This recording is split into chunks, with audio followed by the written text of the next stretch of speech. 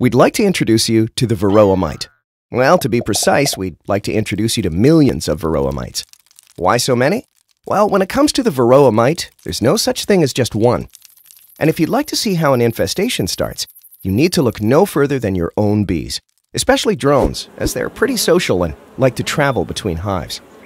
Since Varroa mites don't have any wings of their own, they slip into hives by hitching a ride on the backs of adult bees. And for the lucky mite, the trip includes an in-flight meal, as Varroa mites will begin feeding on bee blood within a few minutes of clinging to the bee. Once they've entered the hive, Varroa mites slip undetected into the vulnerable, uncapped brood cells. This is where the mites lay in wait until the bees cap the brood. Once a cell is capped, the mother mite, like a tiny vampire, climbs atop the cocoon of the developing bee, tears open a hole, and begins to feed on its blood. Within three days, the mother mite lays her first egg, which always develops into a male. Then, she lays one female egg every 30 hours over the next week or so in her newly acquired home under the brood cap. And as each of these female mites mature, they mate with their brother.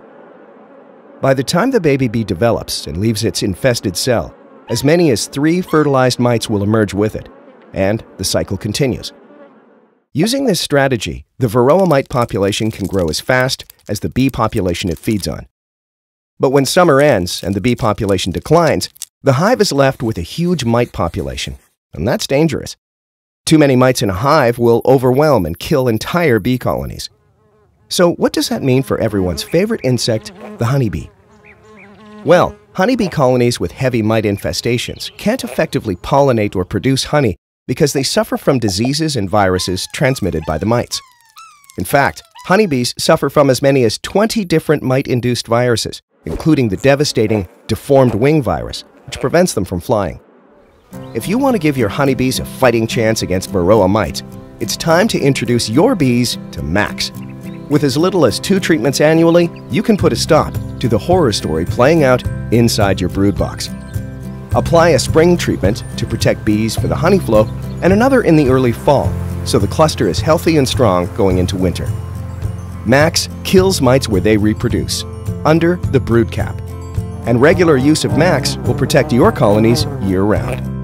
To learn more about MAQS, the certified organic varroa mite treatment, watch the MAQS application video here. Connect with Nod and beekeepers around the world by following us on Twitter and Facebook.